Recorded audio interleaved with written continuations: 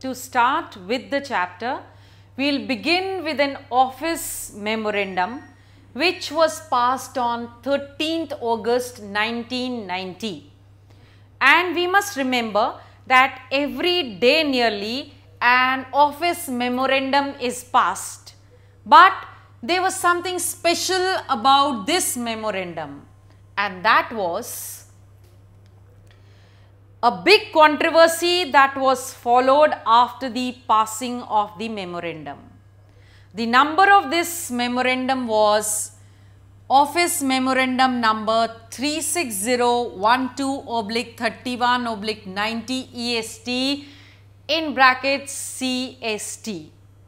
Now this was passed on 13th August 1990 signed by a joint secretary. But remember, he was just the signing authority, not the authority who had passed this order. Because one man cannot make such a big law.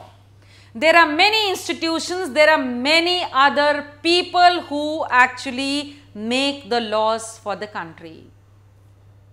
For example, if I talk of then we have the president of the country who is the highest formal authority in the country, prime minister who has the real powers and who exercises them. Then we have two houses in the parliament, the Lok Sabha and the Rajya Sabha. Lok Sabha with immense powers and the prime minister must have the support of the members of the Lok Sabha. Coming back to this office memorandum which was passed. So, by the mere signing by the joint secretary does not show that he was the person who was responsible behind the passing of this memorandum. If I talk of the office memorandum, the provision in this was that 27% of the seats would now on be reserved for the socially and educationally backward class. Already we had reservations for the scheduled caste and the scheduled tribe and a third category of socially and educationally backward class was created by this office memorandum of 13th August 1990 by which 27% reservation was made.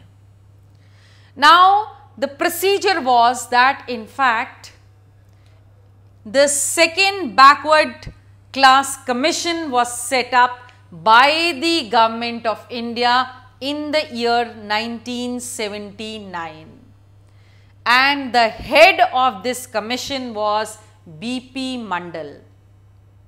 That is why this commission came to be known as Mandal Commission. The Mandal Commission submitted its report in 1980.